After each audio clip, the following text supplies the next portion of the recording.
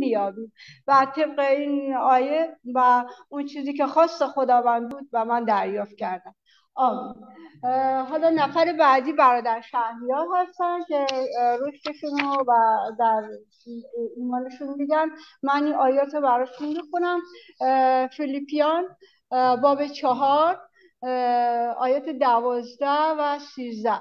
و ذلت را می‌دانم و دولتمندی را هم می‌دانم. در هر صورت و در همه چیز سیری و گرسنگی و دولتمندی و افلاس را یاد گرفتم. قوت هر چیزی را دارم در مسیح که مرا تقویت میبخشد. و رومیان هشت آیه سی و هفتش میگه بلکه در همه این امور از حد زیاده نصرت یافتم به وسیله او که ما را محبت نمود. آمین.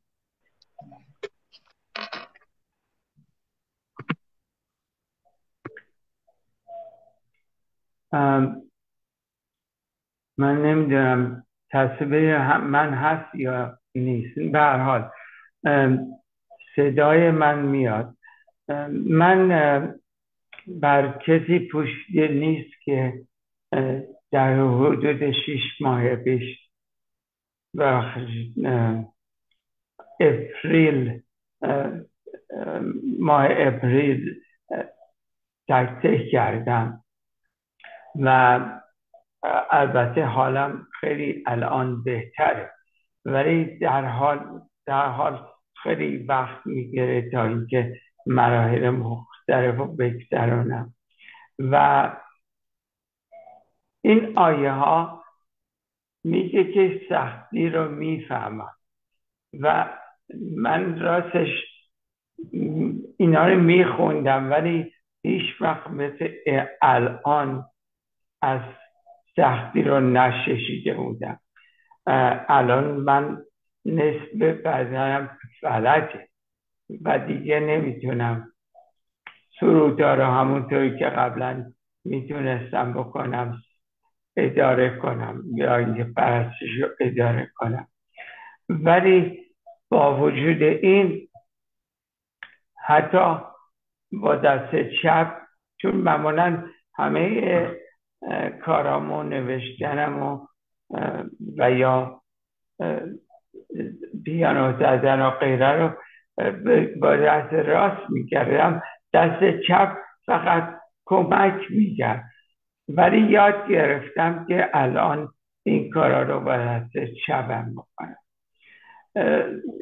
در واقع شرایط من زیاد خوش نیست اگر بخواین فکر بکنید یعنی یکی میگفتش چطور خوشحالی؟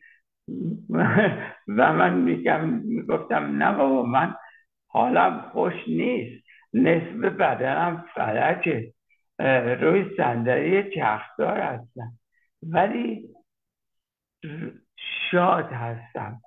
شادی رو با خوشحالی اشتباه نکنید شادی رو هیچ چیزی از آدم نمی‌تونه بگیره چون از درون بیرون میاد. وقتی عیسی مسیح نجات رو به ما داد وقتی که روح قدس در درون ما قرار می‌گیره ما از درون شادی می‌کنیم. و من واقعا پیروز هستم در این شرایط. چون که الان معنی این که معنی خیلی چیزا رو الان بیشتر می‌فهمم. البته من برای کسی آرزو نمی کنم که سختی بکشه. ولی اگر مسیح رو دارید هیچ سختی و هیچ مشکلی نیست که با وجود او آسان نشه و من اینو بر همه برای همه آرزو می‌کنم. امیدوارم که زندگی همه ما جلاد بده. ایسای مسیر خیلی ممنونم.